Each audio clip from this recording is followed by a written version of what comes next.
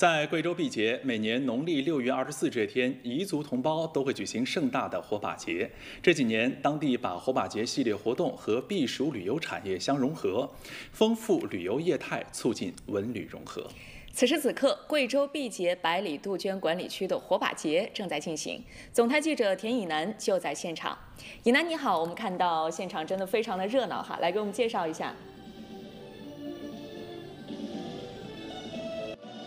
好，战东若天，你们好。那我现在呢，就是在贵州省毕节市的百里杜鹃管理区了。现在这里啊，正在进行一年一度当地盛大的这个彝族的火把节。那其实，在过去的一周以来呢，已经完成了这个取火、烽火等等这样的这个流程。现在场上正在进行的就是最热闹的这个跑火龙的环节。我们看一看啊，其实现今天现场呢，已经下了一个小到中雨这样的量级，很多人呢打起了雨伞，穿上了雨衣。那么在这种五颜六色的雨伞当中呢，有六个直径三点三米。已经被点燃的这个火塘显得是格外的亮眼。那么在火塘的周边呢，会正在进行一些这个乌蒙欢歌的这样的一种民族表演，再加上一些这个观看或者跟着跳这种游客，现场估计有接近两万人，场面呢还是非常的壮观。因此这里啊一直都被称作是东方狂欢夜。那我现在呢，就给大家看一看我手中的这个，就是今年的火把节首次启用的不锈钢材质的火把。它其实呢是仿照了一个火炬的设计，顶端呢有这样的防风口，因此火苗呢不易熄灭。同时它的燃烧呢就不会像普通的木质火把那样产生这个木屑啊、碎屑等等，因此也更加的环保。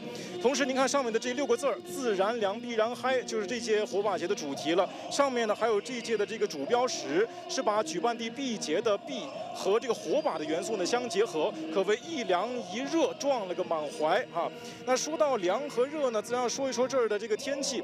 我所在的这个百里杜鹃管理区呢，它在夏季的平均气温呢大概只有二十摄氏度。那今天下了小雨，我的体感大概只有十七、十八度，并且我观察了一下现场的游客，基本都穿了两三件的这个上衣，所以凉自然就是天气很凉。那热呢，就是当地这个主动或者说积极推广的一个避暑的经济非常的火热。呃，据了解啊，为了让这个避暑的品牌更加的响亮，今年呢，百里杜鹃管理区啊是首次联动了四川、云南等周边省份，打造了2024百里杜鹃的避暑旅这个避暑的这个露营大会。呃，据了解呢，接待量最大的一天呢，有近八百辆的房车停在了辖区内，可以说是盘活了现场的一个闲置的一些车位。那自然而然，游客的数量也就增长了很多。据了解呢，从五月份以来，百里杜鹃管理区接待的避暑游客呢，已经突破了八十六万人次。同比增长了百分之十五左右。那除此之外呢，距离我比较近的这个百里杜鹃景区呢，只有不到十五分钟的车程。这个方家坪景区和宜山花谷景区呢，正在形成联动。一个是主打的体育休闲，滑轨车还有过山车；另一个呢，主打的就是这个温泉的康养。谢谢以南从现场发回的报道。